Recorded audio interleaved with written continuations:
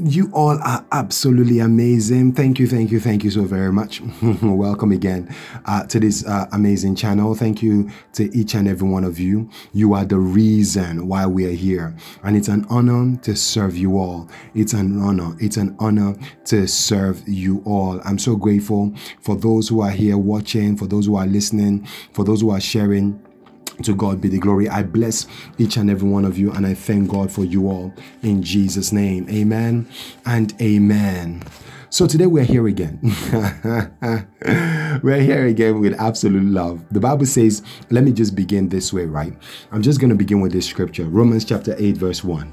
It says, There is therefore now no condemnation for those who are what? For those who are in Christ Jesus. We're not here to condemn any person because we understand that we wrestle not against flesh and blood, but against powers and powers of wickedness and all these powers everywhere. Uh, but we thank God that we have already overcome. First John chapter 2. It says we have already overcome the wicked one. So we understand that every day we're rising you know into the identity that the father has already placed us in. Coming out of religion yeah we're all still coming out of religion because it's been we've been in religion for a long time. You see why? Because our parents were in it and they didn't know any better. And um, you know and we thank god that through what uh, the dimension in which we're walking in we're bringing them gradually. And thank god that some parents are already knowledgeable about this. We thank god for them too. To god God be the glory. So today, I just wanted us to look at this um, uh, this uh, scripture uh, and, this statement that has always been used in religion. You know, it's a place where the Father has been correcting our notion because a lot of the things that religion has been speaking onto us has brought about a lot of limitations rather than elevations. Can you see it? They've brought limitations. Why has it brought limitations? This is because, you know, a lot of people have not really stopped to ask questions and ask why are things this way? Are they true? You know, is this real? Is this supposed to be this way? But do you know what we do most of the time? Because we met it here, we go along with it. And just because we met it here does not mean it's right. L- like we've all understood. Just because we make Christmas here does not make it right because the Bible says God hates it. So gradually we begin to see that the Lord is reconciling. That is why the Bible tells us He has given us what? The ministry of reconciliation. This is what Jesus came to do. He came to what? Reconcile all things back to the Father. What does this mean? There were, there were, you know, things were a certain way in the beginning, God. But then man came along and began to move away from the things of God and thereby creating their own agenda. Now the Lord is sending his own son to reconcile us back to the Father. How things should be right inside of the Father. So, we're going to look at this scripture today. Uh, John chapter 3 and verse 27. I believe when I read this scripture, we're all going to be, uh, it's something that we've all done. I've done it before. so, we thank God for the mercy of God. So, um, we're going to start from verse 27. The Bible says, To this, John replied, A person can receive only what is given them from heaven. You yourselves can testify that I said, I am not the Messiah, but I am sent ahead of him. The bride belongs to the bridegroom. The friend who attends the bridegroom waits and listens for him, and is full of joy when he hears the bridegroom's voice. The joy is mine, and it is now complete. He must become greater, and I must become less. Can I read that again? He said, He must become greater, I must become less. So you can see that this verse have been used in religion time and time again. In prayer, they have taught it unto each and every one of us in times past. You must become less for Jesus to become greater. You must become less for Jesus to become greater. Now, I want us to understand something very clearly. John came to prepare the way for Jesus.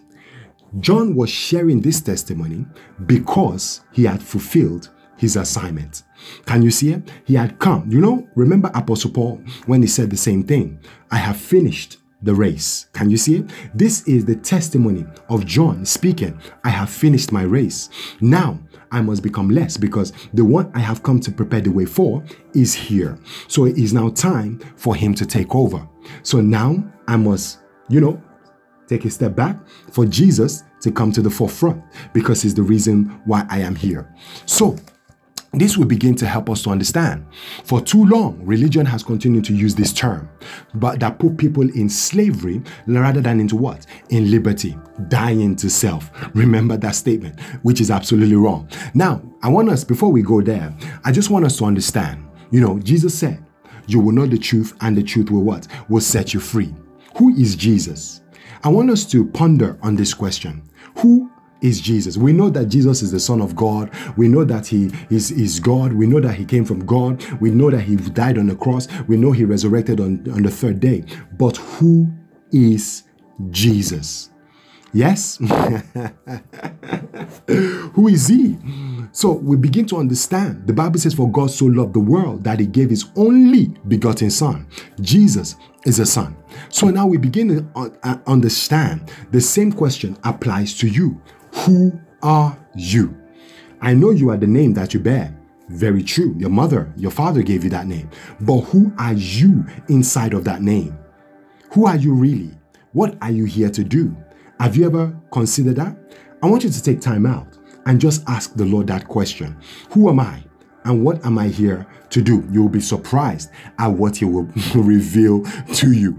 So you begin to understand so I'm going to lay a foundation of who you are because you're born again. I believe that you are. You're a son. That is who you are. But first of all, I want to clear that notion. You're not a Christian. You're not a child of God. You're not a believer and you're not a servant. Why? Because John 8 35 36 declares, it says, A sin, anyone who sins is slave to sin.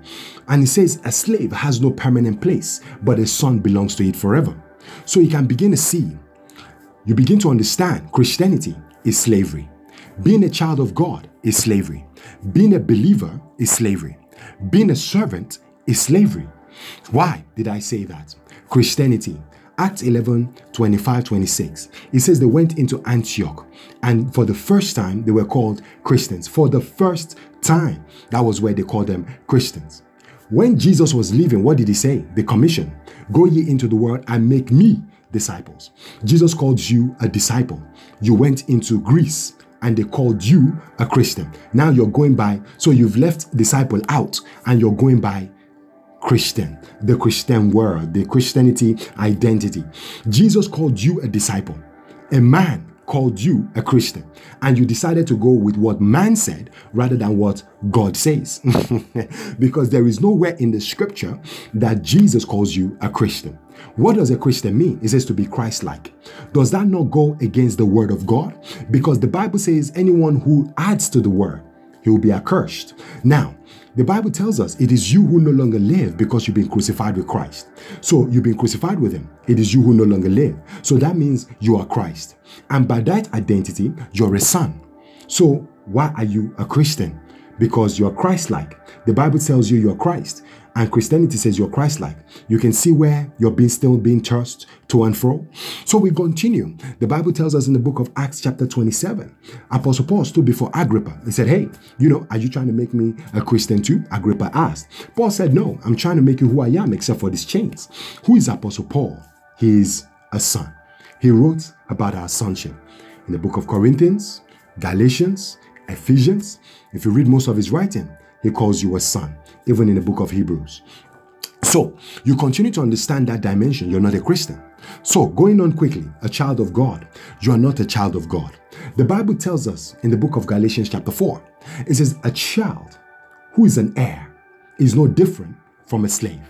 A child is no different from a slave. I am a child of God. You're not different from a slave because a child is someday supposed to grow up. That is why the Bible says, until the appointed time. So we see it in the Bible. Jesus came out as a child. Mary said, uh uh it is not yet time.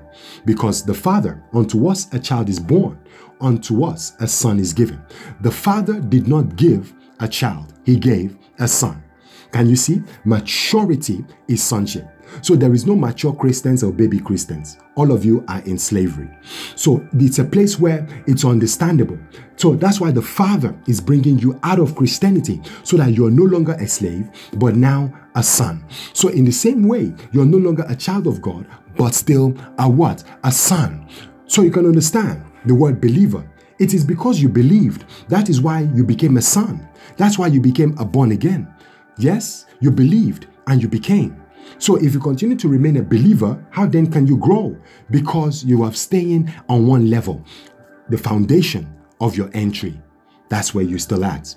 If you continue to affirm as a believer. So now you understand in Galatians chapter 3 and verse 13, it says, Cursed is the one that was hung on a pole. In 14, it says, All this was done so that we may enter or we may inherit the blessings of Abraham. So now you begin to understand who did God call Abraham in the Old Testament? He said, Abraham is my friend. Jesus said to us, He said, I no longer call you servants, I call you friends. But we still under religion where we call ourselves servants, child of God, you know, Christians and believers. All of that term is slavery. Anyone who continues to identify as that is still a slave. Can you see it? So now you are a son because as you are in Christ Jesus, the Bible says, as he is, so are you. Jesus is not the child of God. Jesus is the Son of God. You are not a child of God. You are a son of God. So you can begin to understand that dimension. So we clear that out of the way, you know, for us to understand that any identity apart from your sonship is slavery. So that statement, I must decrease, is the reason why a lot of people are still limited. Yes, because you cannot go beyond what you have become, because you must decrease. Why are you decreasing when the Father is wanting you to increase? Because the scripture tells us the Father is always wanting to increase, is always wanting to increase. So the moment you're affirming to yourself and praying, Father, I must decrease so that you must increase, I must decrease so that you must increase, you are already Christ. Isn't it the same thing when they tell us that what? In Colossians 1:19 let's read Colossians 1:19 so that we can better understand what the father's will. You know the bible tells us in Romans chapter 12 the perfect will of God. And this is the perfect will of God for you and for me. Because of that reason to enter into the inheritance that he has ordained for us. The bible says for it pleased the father. It pleased past tense. That's what? In him, all the fullness should dwell. So, for it pleased the Father, because you are already in Christ, it is you who no longer live, but Christ who now lives in you. So, Christ that you have become, it pleased the Father that in you should dwell his fullness, and by you to reconcile all things to himself, by him, whether things on earth or things in heaven, having made peace through the blood of his cross. Can you see it? He wants to reconcile through you. How can you be recon- how can you reconcile when you're praying to be decreased? But the Father. So look at the struggle. the Father is not struggling with you. It is you struggling with the Father. Because you know why? He has already declared his will, but you have not accepted the, the, his will. Because he's saying, I'm trying to increase you, but you are praying to be decreased. Do you see it? You're praying to be decreased while I'm trying to increase you. You have to understand that you are now his son. You are Christ, according to Galatians 2:20. So you can begin to understand that statement too when people say, I'm dying to self. I'm dying to self. We've shared that on this channel before, helping us to understand that it is a wrong affirmation. Dying to self, it is not scriptural. How can you die to self? when the Lord needs yourself to rise and increase so that He can use yourself to do greater mighty things. so you can begin to understand it. Jesus does not want you to die to self. He has already died on the cross. So what die are you dying again? He says you died with him. So what die, what dying are you dying again? Because you have to understand, we have already been crucified with him. We have already died with him. So now it is time to live. So why are you still dying when he's asking you to live? Limitation. so you can see it. That's why you understand that scripture because a lot of people use that scripture. I die daily. I die daily. Dying daily was not dying to self. That is not what the scripture meant by I die daily. If you look at the journey of Apostle Paul, yes, if you look at the journey of Apostle Paul, can I share a dimension of his journey with each and every one of us so we can understand it? In the book of Second Corinthians and chapter 11, I believe it is, so we can understand what he meant by that from verse 24. And this is what he says from the Jews five times. I received 40 stripes minus one. Three times I was beaten with rods. Once I was stoned. Three times I was shipwrecked. A night and a day.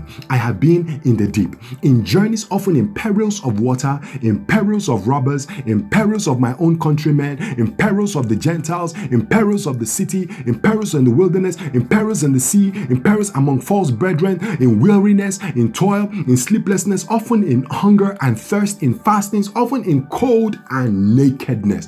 Beside the other things, what comes upon me daily, my deep concern for all the churches.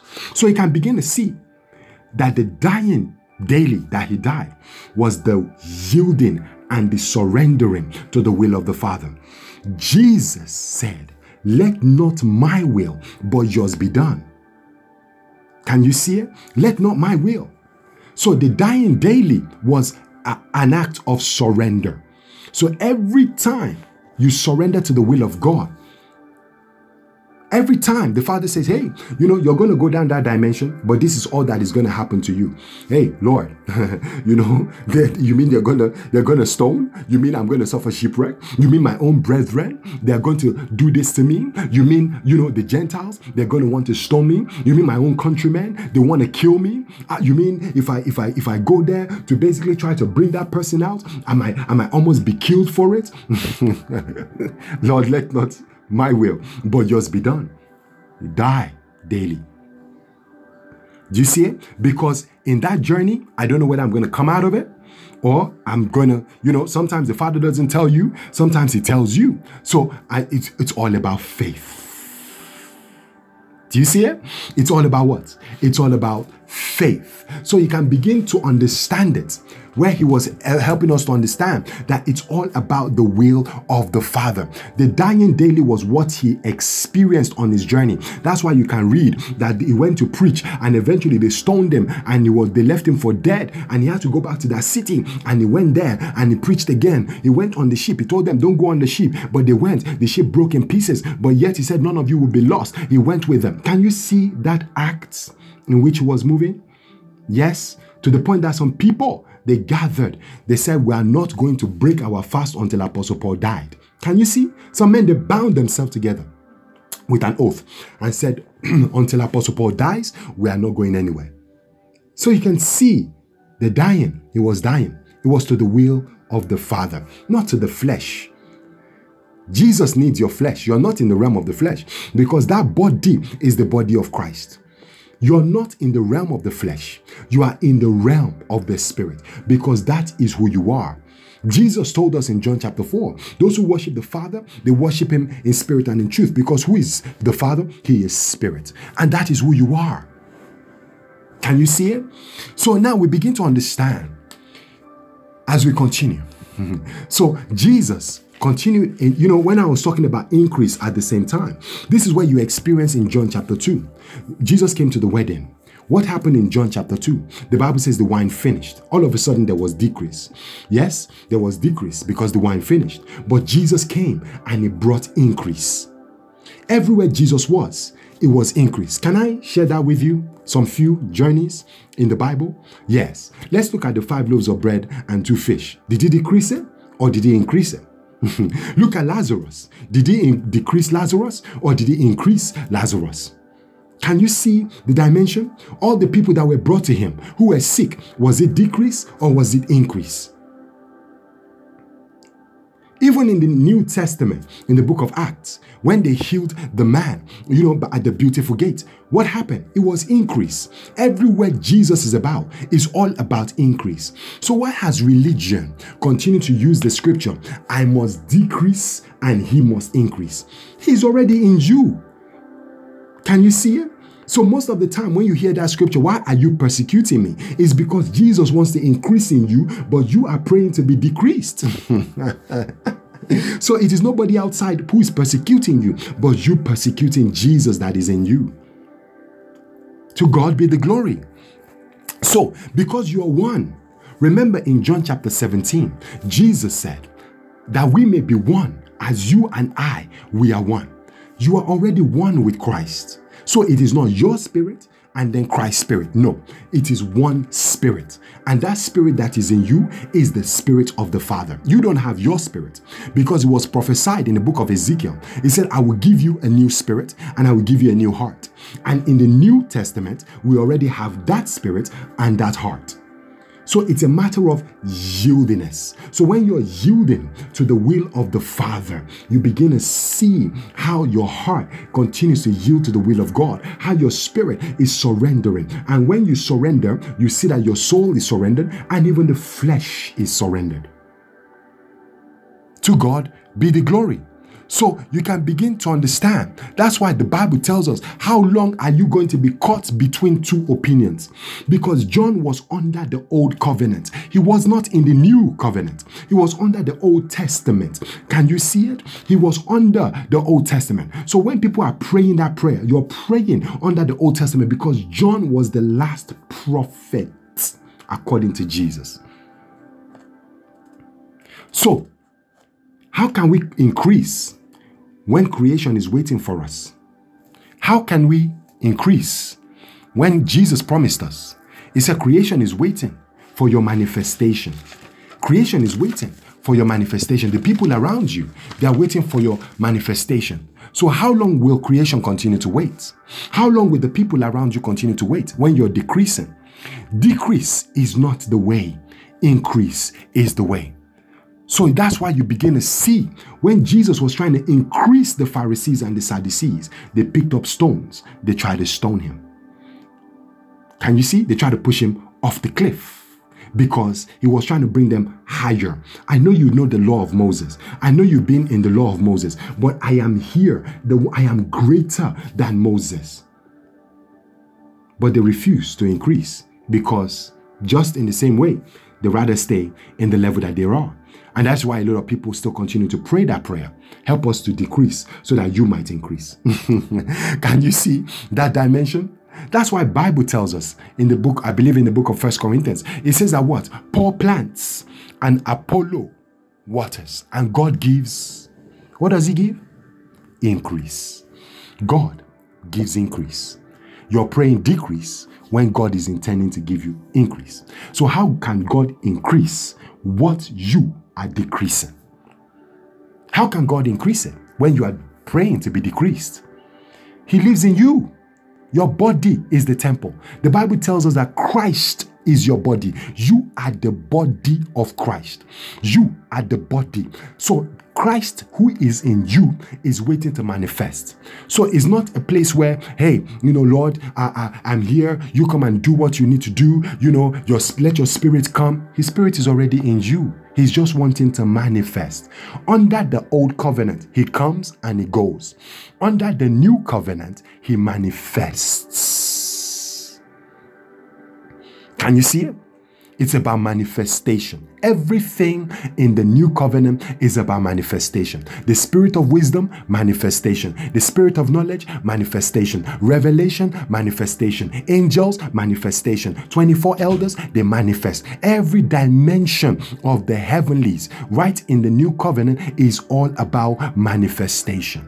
Yes, they still come, but the very foundation of it is manifestation. So you can see that dimension. And that's why the Father is helping you to understand. We need to do away with that prayer. Help me to decrease that you might increase. No. He said, For it pleased the Father that the fullness of Him may dwell. The fullness of Him already dwells in you and He wants to manifest. But how can He manifest when we continue to pray the prayer of decrease? Limitations, hindrances. Can you see it? So now you continue to understand that the reason why John had to decrease was not because he wanted more of Jesus, it was because his time was up.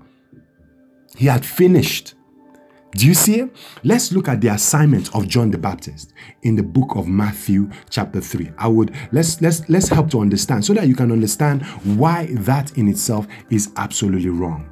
Let's let's look at it from Matthew chapter 3. The Bible says in verse 1, in those days John the Baptist came preaching in the wilderness of Judea and saying, Repent, for the kingdom of God is at hand. For this is he who was spoken of by prophet Isaiah. So you can see, uh, prophet, uh, prophet John was already being prophesied about in the days of who? Isaiah, saying, The voice of the one crying in the wilderness, prepare the way of the Lord, make his path straight. Can you see it? Now you can begin to understand it. That's why you see that this was the assignment of Jesus, of, of John the Baptist. This was his assignment. That is why I've been encouraging a lot of people. Go into your scroll in the book of Revelation, chapter 4, 5, 6, 7, all the way to 10. Go and find out what your assignment truly is. You are the scroll, there are seals around you yes, that needs to be opened up before your scroll is open. So before your ministry can come into fullness, there are things that you need to do. That's, that's what the seals are all about. Can you see it? That's what the seals are all about. There are things you need to do that will lead you to the what? To the opening of your ministry. To the opening of your business, to the opening of your marriage, to the opening of what God has called you to do. So you can begin to understand it. For John the Baptist, his assignment was to get the people ready for Jesus, to baptize in readiness for Jesus to come, and then to baptize Jesus himself, and then to reveal Jesus and testifying about him. As, long, as soon as those things were done, now he must decrease, and Jesus ready to come onto the scene. So you can begin to see it. You can see what Apostle Paul said I have finished the good fight of faith. He knew that his assignment was done. How are you able to tell if you have even begun your assignment? Or how are you able to tell if your assignment has ended when you don't even know anything about your assignment? Do you see that in itself? This is why we've been encouraging on this channel because I believe I did a teaching on how to look into your scroll and help you to understand that your assignment is in your scroll. For what you came here to do on earth is in your scroll and you need to find out. And to find out, you have to first open the seals concerning it. And the seals are guided by seven spirits the spirit of the Lord, the spirit of the fear of the Lord the spirit of wisdom, wisdom, the spirit of knowledge, the spirit of understanding, the spirit of counsel, and the spirit of might. So, in one of those seals, there is a, there is the spirit of the Lord that will help you to walk in them. And as you begin to walk in them, the seals are broken. You've done that. The seals are broken. You've done that. The seals are broken. You've done that. The seals are broken. And from there, you begin to know the intentions of the Father because you are the scroll. So you can begin to see that after all that was revealed to Apostle John, the Bible says in Revelation chapter 10, now go and take the scroll. After the seals were broken off, the revelations came. Now he says, now go and take that scroll. He became the scroll and he said, now this is your assignment. You are going to go and testify. You will prophesy. so you can see why in the dimension there is the prophetic. It says, Apostle Paul, Apostle John, you're going to prophesy. So your assignment is to prophesy to nations, to kings, and all of them. So he can begin to see it. He saw everything. Then his assignment was given. So you can see with with John the Baptist, this was his assignment. That what? He would get the people ready, he would baptize Jesus and reveal and baptize Jesus and reveal Jesus and testify of him and declaring him to the world. So you can see that Jesus could not begin until John had to testify of him. And then eventually the Father affirmed that testimony and Jesus went into the wilderness. So you can begin to see it. This is the reason why, as soon as it was finished, he had to what? He had to decrease. Can you see it? So as soon as the voice thundered from heaven and said, This is my beloved Son in whom I am well pleased. From there on, we began to see there was not much about John the Baptist anymore because Jesus has stepped into this assignment. So you can begin to see it. that is why I want you to look at it from this dimension. Can we can we can we just honor wisdom for a bit? Just think about it. You are the CEO of your company. You have a managing director. So, for example, you are probably you have a meeting scheduled for 10 o'clock, but you're running late. You tell your manager, stand in for me. and he was there, you know, until I get there. And before you got there, the manager was already, you know, he was already going on with the meeting. But as soon as you step into the boardroom, what happened? The manager has to give way because now the CEO is now here. Can you see it? Because the instruction was stand in for me until I get there. And he did stand in until the CEO, you yourself, you got there. Now the managing director has to withdraw. That the CEO is now here. There is not much I have to say now. He has everything that he needs to say. In the same way with Jesus and John the Baptist. And you are Christ. So why are you decreasing when Christ is trying to what? To manifest through you. Can you see that dimension? To God be the glory. So John's ministry came to an end. So now you can see what Jesus testified about John in Matthew chapter 11. Look at what Jesus said about John, right? He says here from verse 7 as they departed, because John was in the Baptist. John, I said John was in the Baptist. Lord have mercy. John was in prison, isn't it? And then, you know, he was not sure, you know, he got into a place who was like a tight corner, and he's like, ah, ah, Am I really sure that Jesus is the one who is who is to come? Because you know, how can how can I be in prison and Jesus is out there doing what he needs to do? And they came to they came to Jesus, and Jesus said, Hey, so as soon as they came to Jesus, Jesus was healing the sick, he was opening the eyes of the blind, the dead are being raised. And Jesus said to them, Go and tell John the things which you hear and see. So in verse 7, as they departed, you can see he did not give the testimony while they were there. He gave the testimony after they had gone. He said, As they departed, Jesus began to say to the multitudes concerning John, What did you go into the wilderness to see? A reed shaken by the wind? What did you go out to see? A man clothed in soft garments? Indeed, those who wear soft clothing are in king's houses. But what did you go out to see? A prophet? Yes, I tell you, more than a prophet. For this is he of whom it is written, Behold, I send my messenger before you who will prepare your way before you. Assuredly, I say to you, among those born of women, there has not risen one greater than John the Baptist, but he who is least in the kingdom of heaven is greater than he. And from the days of John the Baptist until now, the kingdom of heaven suffers violence, and the violent take it by force. For all the prophets and the law prophesied until John. The prophets of the law, talking about the Old Testament of the law. and the Bible says, and if you're willing to receive it, he Elijah who is to come. He who has ears, let him hear. So you can begin to see it. Then in verse 18, he said, John came neither eating or drinking. They say he's a demon.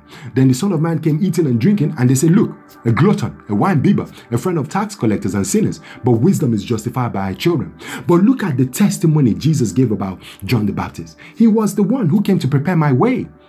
He was the one who the Lord used, God, my Father, used in heaven to prepare the way for me. So you can begin to see it.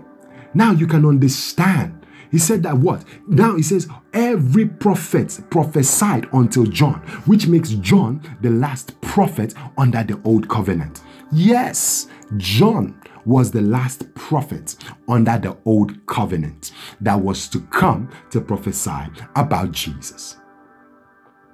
John was the last prophet because Jesus was here to set a new direction. And what is the new direction that he came to set? We see it in the book of what? Hebrews chapter 1. Because the Bible tells us. So, though we still have the office of what? Of the prophet, the office of the apostles, the office of the pastor, the evangelist, the office of who? The office of, you know, the teacher. But this is the dimension in which Jesus intended right from the very beginning. Hebrews chapter 1, verse 1 to 3. It says, God, who at various times and in various ways spoke in times past to the fathers by the prophets, has has has in these last days spoken to us by what? His sons. What did he say? God, who at various times, in various ways, in times past, that means under the old covenant, he spoke to our fathers by the prophets, and in these last days, he's spoken to us by his Son, whom he has appointed heir of all things, through whom he made the world, whom being the brightness of his glory and the express image of his person, upholding all things by the word of his power, when he had himself purged our sins, sat down at the right hand of the majesty on high. Having much having become so much better than the angels, he has, he has by inheritance obtained a more excellent name than they. Who is the Son that is being spoken of here? You because you are in Christ Jesus. The Bible says you are seated in heavenly places with Christ. So for that reason that you're a son, you are so a pastor is supposed to is supposed to pastor as a son. An apostle is supposed to be an apostle as a son. A, a, a prophet is to be a prophet as a son. A teacher is supposed to be a teacher as a son. An evangelist is supposed to be an evangelist as a son. So every office that the Father has given, he says in this last days, He has spoken to us by His Son. And this is not limited to the offices alone, this is for everybody. To God be the glory. It's for everybody. It's for you, whether you're called to the office or you're not called to the office. He says that what? In these last days, He has spoken to us by His Son. So that means, as I am speaking to you, it is the Son speaking to you. I prophesy, it is the Son prophesying. Because it is I who no longer live. You know, when I came into Christ, I, I was crucified with Jesus. so it is I. As soon as I became born again, it was I who no longer lived. Because on, when I was in the world, yes, it was I who was living. Yes, uh, it was me. It was me in, on, on, with the old spirit. I was there living in the world. But as soon as I came into Christ, I became a son. It is I who no longer live, but Christ who now lives in me. So my spirit, the old spirit, was taken away. The new spirit, which was spoken about in Ezekiel, became Christ Jesus. That's my spirit. As He is, so am I. And that is who you are at the same time. So we begin to understand. Can you see it? That's why the Father is helping us to understand that we need to be in our resurrection life. The resurrection life is what the Father wants us to live, not going back to the cross again and again and again and again and again and again and again. Because every time you go back to the cross, that is why majority of the people you see every morning when they wake up, Father, uh, thank you for this morning. Forgive me of my sins. Really? What if you had not committed any sin? can you can you see? Because religion gets you to focus on those things. You're supposed to live the life. And if the father says, Hey, you did wrong there, he calls your attention to it. And when he calls your attention to it, oh Father, I did that wrong. I am sorry, Father. I repent. Oh, I didn't treat that brother right. What would you have me do? Right, I'll go and apologize. Can you see it? And that is the leadership, not continue to focus, Father. And our prayers is full of Father, I, I forgive me for the sins I committed yesterday. Did he show you you committed any sin? No. So why are you all works, right? so you can begin to see it. That's why he says the prayer that you must decrease, he must increase is absolutely wrong. You're not here to decrease. You're here full of increase. You're supposed to overflow. The Bible says in the book of Acts, they were filled to overflowing. Every time they prayed, Father, fill us Fill us by your spirit. Fill us. Fill us, Holy Ghost. Fill us. So, the reason why some of you cannot be filled to overflowing is because you've prayed the prayer, I must decrease and He must increase. And He cannot increase because, you know why? You've separated yourself from Him. Every time you say, I must decrease, He must increase, you separated yourself from Him. It's separation. You spoke a word of separation, a word of death. Death is separation. Because you're saying, I must, he must. You're one. John chapter 17. You're no. You're, there is no your spirit, my spirit, his spirit. No, you're one spirit. The spirit in you is the spirit of the Father the moment you became born again. So there is no decrease in that spirit because Jesus is always wanting to increase. So you can see the dimension of this in itself. And the Father is helping us to understand that his mercy because now is the time to elevate majority of you. Now is the time for many of you to come up higher. Now is the time for many of you to increase in what he has called you to increase in. Ministry business finances whatever he has called you to increase in. But you cannot increase because i've been calling you up higher. You cannot come up higher because i've been trying to get you to the place that you need to be but you keep resisting me because I must decrease and he must increase. He's already increased, he's overflowing. It is you who have to come to the knowledge of who you truly are in Him, to come in alignment into what He has said about you. Get away from the cross and begin to live your resurrected life. Religion only brings you back into slavery. This is the reason why the Lord has been calling a lot of you out of the sanctuaries that you're in, so that you can come in to the understanding of your identity, because He wants to teach you some things that religion cannot teach you. Can you see it? You cannot learn. I repeat that with confidence. You cannot learn, yes, about your sonship in slavery. Could the children of Israel learn about who they were in Egypt? They knew who they were, but they could not live it because you know why? They were in bondage. That's why God had to send Moses to bring them out to live in freedom. This is exactly what Jesus said to Apostle Paul in Galatians 5 and verse 1. It is for freedom that Christ has set you free. Don't be yoked again to that religion. Don't be yoked again to that slavery. Don't be yoked again going back to learn from religion that cannot teach you. If religion could teach you about your identity, there would have been no way for Jesus to bring out the 12 apostles. He would have gone and taken them and sat in the synagogue while they are listening to a rabbi. Have you ever thought of that before? If if if religion could teach about identity, right? There would have been no need for Jesus to uh, select the 12 of the, of the apostles. They would have gone, found a rabbi, and sat under that rabbi with the Pharisees and the Sadducees, and then learn about God from them. But no, Jesus said, I am the way, the truth, and the life. So that is why he had to bring them all out so that they can follow him because he's the way in freedom. But the people in religion, they didn't like it. That's why they kept persecuting. Are you being persecuted today because of your identity? Rejoice. But I say rejoice. You're in good place. That is what Matthew chapter 5 said. If they don't like it, I do. and heaven is applauding you. Can you see that? See what Jesus is saying? I'm applauding you. If they don't like it, if the religious people don't like it, I I love it. That's why I said religion is not people, right? No, no, no, no, no. So don't go and start saying that is that person is religious, that person is religion, that person is religion. No. Religion is a spirit that tries to hold people, not to set them free. It is for freedom that Christ has set you free, not to be yoked again. So a lot of people are yoked into religion. That is why they cannot get free.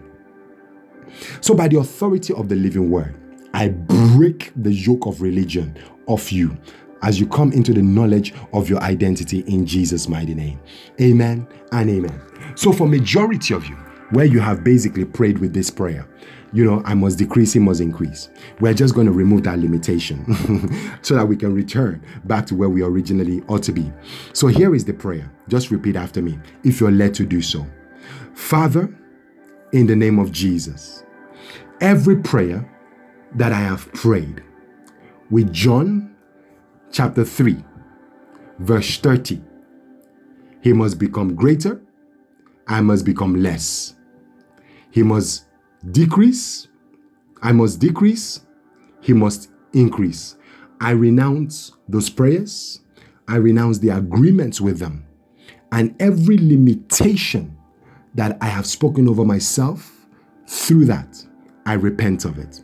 In Jesus' mighty name, amen and amen. So I just want to pray for you. So, Father, by the authority of your word, I break the powers of limitations over the lives of your people through this scripture. And I declare by the authority of your word that they are coming up higher in what you have called them to do. So, every yoke of slavery that has been tied with the scripture, I break off the yoke by the authority of your living word and I yoke them back to Christ because the Bible says, For my yoke is easy and my burden is light. So, I declare over them liberty and I bless them with your mercy. In Jesus' mighty name, amen and amen. Go forth in the increase of the Lord because this is His will for you right from the very beginning. Receive your increase. In Jesus' name, Amen. I love you all. Be blessed in the presence of the Most High and have a wonderful, a glorious, a joyful, and a blessed day in the presence of God that you have become. Amen. Blessings to you.